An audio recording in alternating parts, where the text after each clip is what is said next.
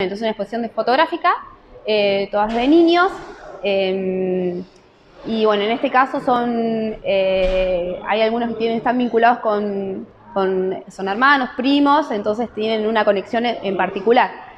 Son 16 fotos y van a estar desde el 3 de octubre hasta el 27 del, mes, del mismo mes. Me encantaría que puedan participar, es algo que no es habitual, que no se, que no se ve en realidad eh, las muestras de fotos de niños y, es un poco para poder eh, transmitir cuál es la mirada, ¿no? Eh, cómo se conectan ellos a través de en la vida, que hoy está tan invisible todo eso y bueno, por ahí el adulto puede mirar a través de los ojos de un niño, sería todo mucho más diferente.